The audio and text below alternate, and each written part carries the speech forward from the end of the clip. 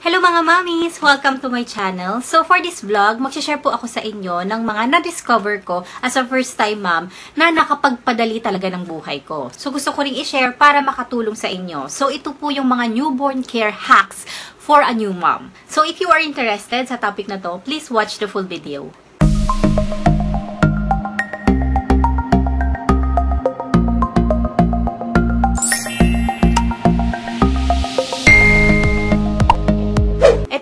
Itong mga i-share ko sa inyong mga tips and hacks sa pag-aalaga kay baby ay based only on my personal experience. And it really works for me. So I'm hoping sa mga nanonood ngayon, sana makatulong itong video na to at magamit nyo itong mga hacks na i-share ko sa pag-aalaga sa baby nyo. So wag na po nating patagalin. Let's begin. For my number one hack, trim nails only while the newborn is sleeping. Ito mga mami, very helpful to sa akin and yun talagang ginagawa ko until now. Kasi hanggang ngayon malikot pa rin at mahirap pa rin gupitan si Enzo. Ang tip dyan is kailangan malinaw talaga yung mata mo. So kung gumagamit ka na ng glasses ngayon, dapat tuwing magugupit ka ng kuko ni baby, suot-suot mo yon Kasi dapat clear talaga yung sight mo. And another thing, kailangan maliwanag yung paligid. Pwede mong ilawan, i-flashlight, o kaya ilaw from sun. Pero siguro nagtataka kayo, Mami Jack, sabi mo tulog si baby, pero bakit maliwanag? Ako nagugupitan ko si baby noong newborn siya kahit na maliwanag. Eh kasi yung mga kuko nila parang nakadikit pa sa balat. Mahirapan kang i-differentiate yung balat at saka yung kuko. So baka magupit mo siya kaya kailangan maliwanag talaga. So ang nangyayari dyan sa umaga dahil nga ang ganda ng liwanag ng araw, dinadala ko siya sa labas kahit natulog siya. Hindi naman sila nagigising eh kasi ang mga newborn tulugin talaga yung mga yan eh. Ngayon mami kung sakaling gusto mo magupit sa gabi, pwede ka naman gumamit ng flashlight o kaya yung flashlight ng cellphone mo. Isa rin yung sa mga ginagawa kong paraan. Ngayon, kung sakaling takot na takot ka pa talagang gupitan at nahihirapan ka, pwede mo namang gamitan si baby muna ng mittens o yung mga nilalagay sa kamay para hindi niya mai-scratch yung face niya. Pwede mo tong gawin for the first week of life dahil nga mahirap talagang gupitan yung mga ganong edad. Then after a week or maybe after 2 weeks, pwede mo nang itry magupit kay baby, baka kaya mo na. And another option, pwede po kayong gumamit ng nail filer. Parang ifo-file mo lang yung nails nila para hindi ganun katulis at hindi ganun katalas. For my second hack is umbilical cord care or yung tamang pag-aalaga sa pusod.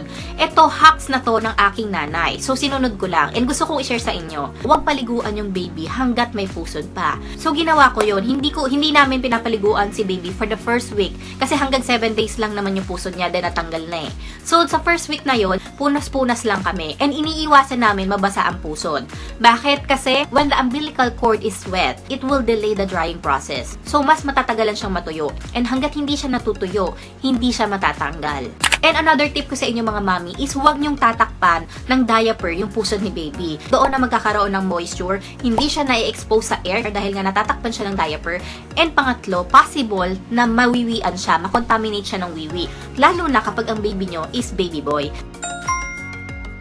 For my number 3 hacks is baby acne care. Ito yung mga lumalabas na butlig-butlig sa mukha ni baby during the first week of life niya na nag-worry ka baka kasi hinahalik-halikan siya o kaya allergy na nakukuha niya sa unan or kumot. Well, possible mga mami, pero ang gusto ko lang ditong sabihin, ang mga baby acne, nawawala po yan in a couple of weeks. Kailangan mo lang siyang pabayaan at huwag pansinin. And itong mga baby acne, actually, no need for medication siya or kahit anong cream. Huwag kang basta-basta mag apply And kung worry-worry ka talaga, pwede mo itong ipicturean and isend mo kay Peja. Pwede siyang magbigay ng reseta for that.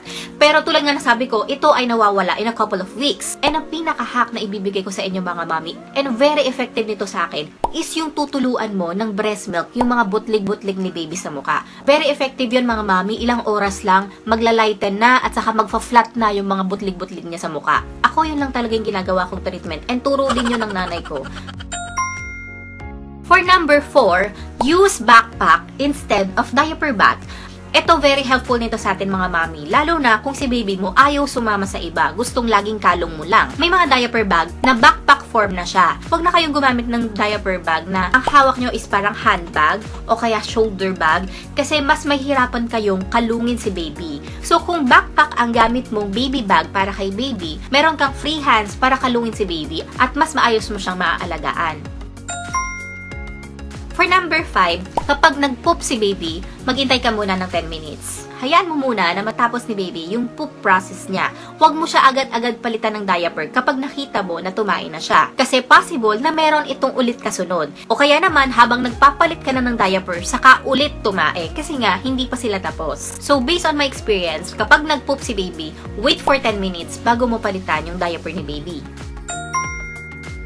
For my 6 hack, always have an extra shirt or extra damit. Lalo na kapag lumalabas kayo. So, kapag mag-aayos ka ng gamit ni baby, hindi lang damit niya yung dadamihan mo. Maglagay ka rin ng extra damit mo. Para kung sakaling maglungad accidentally si baby, dahil ang mga newborn, magalaw mo lang yan ng onte, lulungad na yan eh. Ganyan sila ka-sensitive. And another thing po, kapag nagkaroon ka ng stain sa damit mo due to breast milk, ayan, possible din na mangyari yan kasi nga, hindi pa ganun ka-regulated yung breast milk production mo. So, importante na lagi ka talagang mayroong extra damit. Number 7, para naman sa mga breastfeeding moms, when you are breastfeeding, isave nyo yung breast milk na tumutulo sa kabilang breast nyo. Kasi sayang, liquid gold din yun. So, pwede kayong gumamit ng haka, o kaya manual pump, or even bottle ni baby. Doon nyo isalo yung tumutulong breast milk habang nagpapadede kayo. Kasi common yun mga mami. Kapag ikaw ay nagpapadede sa other side, na-stimulate din yung other breast mo na mag-produce and mag-let down or mag-sirit ng breast milk niya. So, para hindi sayang, saluhin mo rin and pwede mo siyang i-store. Number 8 is prevent flathead. Iwasan nyo po na magkaroon ng flathead si baby. So, every time na after nyo siyang padidehin, tapos ilalapag nyo na siya, i-flip nyo yung head niya on one side. Then, maya-maya, pwede mo namang i-flip ulit on the other side. Pero, syempre, dahan-dahan lang kasi newborn pa sila. Another tip po is magkaroon kayo ng tummy time every day. Nakakatulong din yun para mag-mold ng bilog yung head ni baby. And pwede rin kayong gumamit ng flathead prevention pillow. Ito po siya. Yan po yung una na ginamit ko kay baby noon, nung mga first 4 months siya.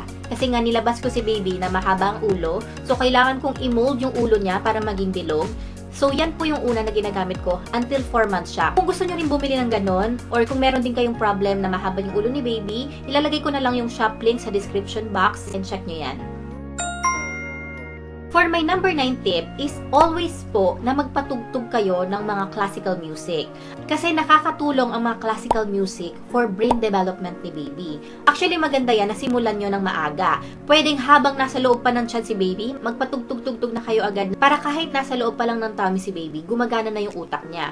And hanggang newborn, kapag lumabas na si baby, tuloy-tuloy nyo lang na magpatugtog ng mga classical music. Magbigay ako sa inyo ng sample kung paano gumagana yung utak ng baby ko. Tuwing nagpapatugtog ako ng mga classical music. So, yan makikita nyo na gumagalaw-galaw yung mata niya. Actually, yung time na yan, hindi pa siya nakakakita. Pero gumagana na yung brain niya. For my number 10 and last tip is avoid leg lift after feeding. Ito, hindi talaga to advisable. And ito rin sana yung gusto ko isa-suggest sa inyo, mga mami. Kasi normally po, sa newborn, kapag nagpapalit tayo ng diaper ni baby, usually inaangat natin yung paa nila, di ba? Well, hindi po maganda yon kasi naiipit po yung tiyan nila. So, kahit na newborn pa lang siya, try mo na siyang i-turn into side kapag naglilinis ka ng puwet niya after niyang tumae or kapag magpapalit ka ng diaper. And kapag busog si baby or kaya after niyo siyang padidehin, tapos tumae siya, then nagpalit kayo ng diaper, tapos inangat mo yung leg niya, ang kasunod niyan mga mami, isusuka siya. Kasi nga sobrang busog siya, tapos naipit yung tiyan niya, tendency, lungad. So kahit na hindi busog siguro mga mami, basta magpapalit kayo ng diaper, turn to side na lang para nga hindi naiipit yung tiyan niya, hindi nagkakaroon ng pressure doon sa tummy ni baby. So, yun na po yung 10 newborn care hacks para sa mga new moms. Actually, marami pa akong na-discover at natutunan sa pag-aalaga kay baby as a first-time mom. Kasi yung iba doon, mga suggestions and advices sa akin ng mga parents or mga mother na din. And talagang nakatulong sa akin at napadali yung buhay ko. Mahirap na lang talagang isiksik dito sa vlog na to kasi sobrang haba yung video. So, kung interested pa kayo mga mami sa ganitong klaseng topics, yung pagbibigay ko ng hacks and tips sa pag-aalaga sa baby nyo, well, comment down below and susundan natin itong video na to. So if you enjoyed this video, please hit the like button and you can share this video sa mga friends nyo and don't forget to subscribe on my channel and click the bell button para pag may bago kang uploads, manonotify ka agad and mapapanood mo.